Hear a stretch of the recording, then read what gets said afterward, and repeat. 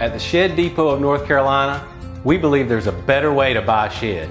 One where all the selection, all the quality, and all the service are in one place to make your buying experience easier.